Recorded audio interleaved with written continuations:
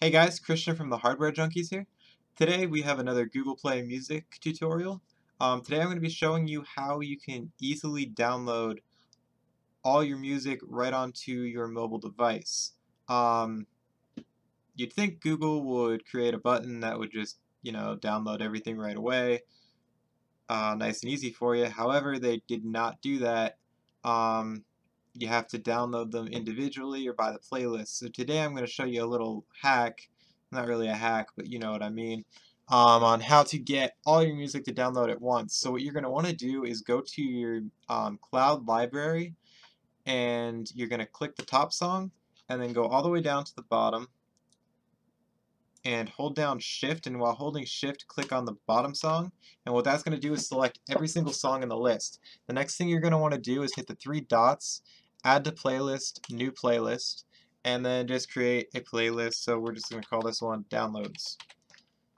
Um, I think there's something called that already. So let's just go to downloads one and create playlist. And what that does is puts all the songs in your library into this playlist called downloads. So now when you go onto your Android device or I think it works on iOS too. I'm not really sure. I don't have one.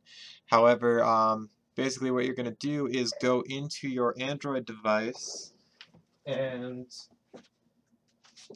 you're going to go to your playlists. Let me just open it up on my phone so I can tell you the exact uh, what it looks like. And there's going to be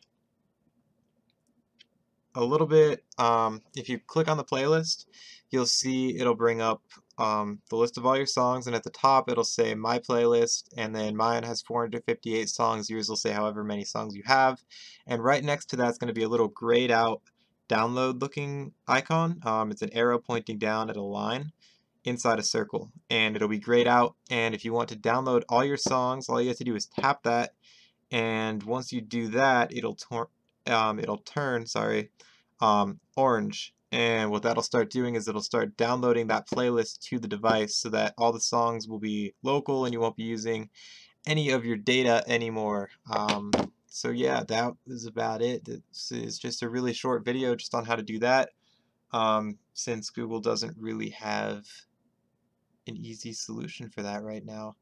Hopefully they change it, but um, yeah, for now that's the best way to do it.